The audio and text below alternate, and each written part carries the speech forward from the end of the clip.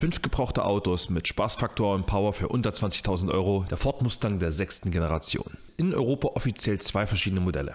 Einerseits den 2,3 Liter Vierzylinder EcoBoost und den 5 Liter V8 Motor. Der 3,7 Liter V6 Motor, den gab es nie offiziell in Europa, das war ein US-Grauimport. Man kann Europamodelle noch an was anderem erkennen und zwar an den Heckleuchten. Die sind in Europa nämlich gräulich weiß, wenn die amerikanischen Modelle rote Heckleuchten haben, die auch rot blinken. Wem es wichtig ist, ein Europamodell zu haben, aber trotzdem die amerikanischen Heckleuchten haben will, da gibt es mit E-Prüfzeichen mittlerweile Nachrüstlösungen. Das Schöne am Mustang, Wartung und Reparatur sind relativ günstig.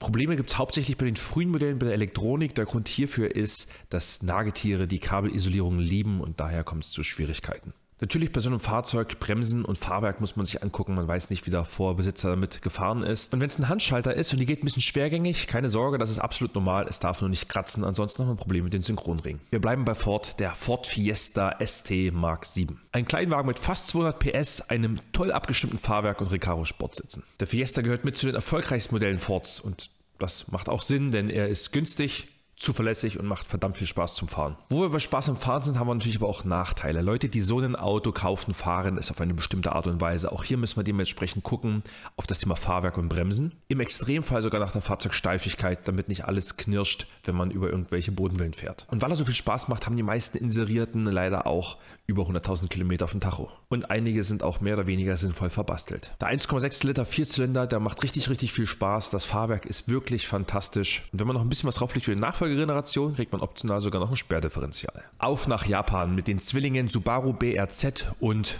Toyota GT86. Beide Fahrzeuge haben die identische Technik, nur Farben und Ausstattung, die sind unterschiedlich. Das Fahrzeug hat einen Boxermotor, das zeigt schon mal, die Technik kommt hauptsächlich von Subaru. Wir haben Hinterantrieb und ein fast perfektes Gewichtsverhältnis. Der Sauger ist drehfreudig, das mechanische Schaltgetriebe macht richtig Spaß. Die Serienausstattung aber eher Rennstrecken untypisch. Wir haben Energiesparreifen drauf, die zumindest beim Driften bei nasser Fahrbahn ziemlich viel Spaß machen können. Und der Motor mit seinen 200 PS klingt relativ dezent. Hier sportliche Reifen dazu und ein neues Fahrwerk, da hat man einen puristischen Sportwagen Nachteile wie hier beim Fiesta. Einerseits, wir haben viele verbastelte Fahrzeuge auf dem Markt. Das Fahrzeug wird halt eben auch getreten. Fahrwerk, Bremsen. Die Technik an sich ist sehr zuverlässig. Es kommt aber einzeln zu Ölverlust und auch Zylinderkopfdichtungsschäden. Naja, das ist ein Boxermotor, dann wird es teuer. Auch ein Nachteil, die Fahrzeuge wurden in Deutschland nicht sonderlich oft zugelassen. Der Markt für die Fahrzeuge relativ gering, man muss also etwas suchen. Die S-Klasse Baureihe 220. Du willst V8 Power, aber gleichzeitig reisen wir auf einer Wolke, dann hör jetzt mal genauer hin. Die meisten inserierten Fahrzeuge sind richtige Kilometerfresser.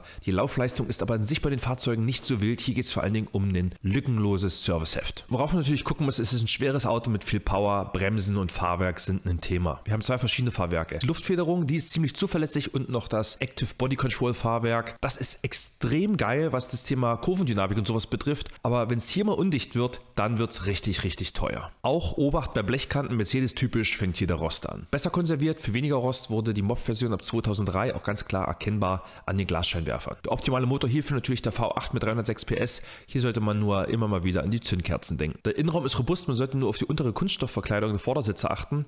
Dort kann es nämlich zu Brüchen kommen, wenn man zu sehr vorne über die Kante rutscht. Wenn die Softlack-Applikationen irgendwie klebrig oder gummiartig sein sollten, dann kriegt man das auch mit Handdesinfektionsmittel wieder ordentlich hin. Der Porsche Boxster 986. Das älteste vorgestellten Fahrzeuge mit einem 6-Zylinder Boxermotor im Heck. Das Fahrzeug macht wirklich enorm viel Spaß, aber es ist ein Porsche. Unterhalt und Wartung sind teuer. Das war die erste Baureihe mit Wasserkühlung und hier wir ein kleines Problem, das Thema IMS, also das Zwischenwellenlager. Wenn dort mal was kaputt geht, dann kriegen wir Metallspäne im Motor und wir können den kompletten Motor ruinieren. Porsche-Veteranen meinen, den 986, der über 100.000 Kilometer gefahren hat, der hat ein extrem geringes Risiko für dieses Problem. Alternativ müssen wir Ausschau halten nach Fahrzeugen, die diese Lager schon getauscht bekommen haben. Vorsicht bei US-Reimporten und Rechtslenkern, hier ist die Servicehistorie oft ein bisschen schwierig. Die Karosserie ist voll verzinkt, also Rost gar kein Problem, zumindest wenn das Auto unfallfrei war. Ein großer Vorteil dieses Autos gegenüber den anderen vier vorgestellten Modellen, die Vorbesitzer gehen in der Regel sehr, sehr gut mit diesen Fahrzeugen um, tun nicht, verbasteln nicht. Welchen von den fünf Autos würdest du dir am ehesten zulegen?